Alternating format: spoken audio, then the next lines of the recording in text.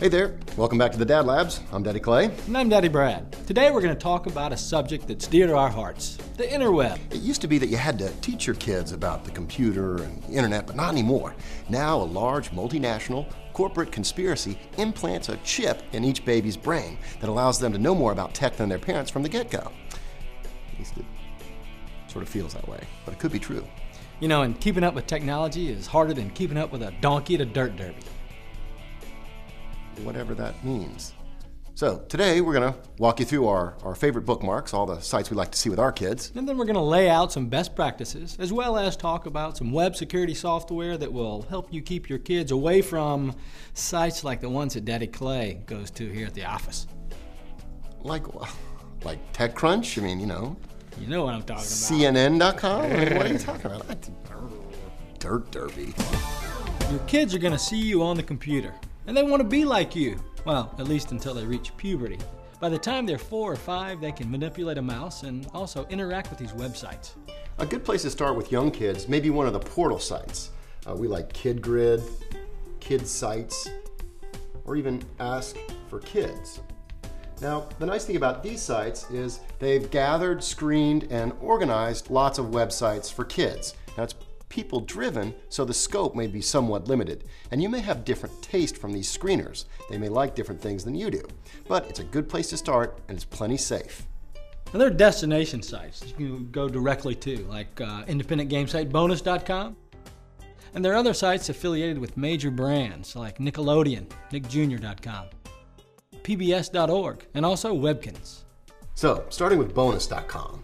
Now, this game site has got a wide variety of games, and the playability here is really good. They're, they're fun enough that maybe the adults would want to join in with the younger kids. The problem is that there's also tons of pop up, spammy ads everywhere. So, I feel a little bit uncomfortable recommending the site for kids. Too, too spammy. The Nickelodeon sites, like nick.com and nickjr.com, have good playability. Some of the games are free, but others you have to pay for. And all of them are tied to a television show. I think the clear winner here has got to be pbskids.org. Although there's also some television show tie-ins here, there's a nice variety, a good mix of games. You've got games, you've got coloring activities, you've got music activities. It's a nice wide variety. Here, the halo of the PBS brand is backed up by solid game design. Then there's Webkinz. Webkinz, the phenomenally popular website for children. It's sort of like Second Life for plushies. Now, in order to play at webkinz.com, you have to first purchase this little virtual stuffed teddy bear thingamadoodle. Well, it's an actual teddy bear. Well, I mean, you buy a well, teddy bear. Yeah, you do it online though. But it's a teddy bear. It's a doggy. It's a dog. Or a cat. Okay, cat, bear, you know, whatever. It's got a code around its neck, and then you enter that code, and then you're in the Webkinz world. Yeah, and then say goodbye because your child is going to spend the rest of their childhood slaving here in the Webkinz mines, trying to earn a few dollars so that they can feed their little virtual digital pet and, and of course, provide it with the important widescreen virtual TV set. Maybe a pink bathing suit. Ridiculous crap like that. You get one free year of use of the website with the purchase of your stuffed animal. After that, you gotta pony up.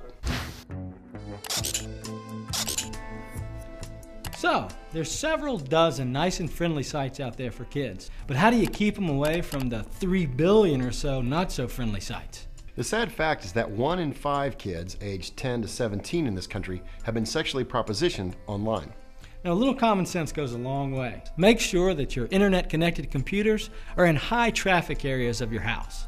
Make sure to tell your kids that parents should do all the registering on websites. And when you assign a screen name to your kid, make sure to use something generic and non gender specific.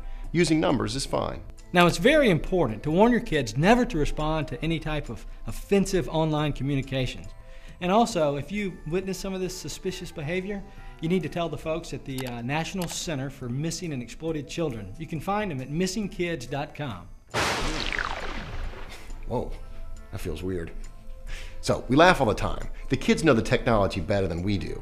But parents today, we're sort of obligated to geek out, to know the technology so we can protect our kids. So, it's really important that you understand the parental controls on your computer's operating system and also on your web browser. Apple's operating system, for example, allows parents to create a profile for their children, and you can set your preferences in the parental controls. Web browser, exactly which websites they can visit. You have to give permission for each one. Who they send and receive emails to. You can even password protect some of the words in the dictionary. Now, this approach to monitoring what your kid says and does is very labor intensive, but it's worth it. It's a good way to protect them. You know, you can also go all Patriot Act on your kids by installing some internet filtering software. Anywhere between 30 and 80 bucks, you can install software like Guardian Monitor or Net Nanny or Content Protect. Now, the best programs offer blocking and monitoring. The blocking employs a database that essentially won't let your kids get to the bad sites. But there are new bad sites that are popping up every day. So the real big brother stuff, that's the monitoring. It sends you messages about where your kids are going, the emails and messages they're receiving. Really lets you know about everything they're doing online. Just how much you want to be into your kid's digital business is something you should probably talk over with your spouse. This is important family policy and should be discussed thoughtfully. These days, it's important for Luddite parents, Like you. yeah, like me, to really tech up and take care of your kids online. You know, embrace your inner geek. Go online with your kids and keep them safe. It's fun. Well, I think that's about it for us here at the Dad Labs.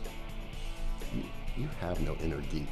I know, I don't. Your inner geek is dead. yeah, I, I, don't think, I don't think it was ever born. You're the least digital person I've Yeah. ever known. I did play do you know how Pong. to turn? Do you know? I like that Pong stuff. Do you know how to turn your computer on without help? Does Um, Troy do that for you every morning? I just never turned it off.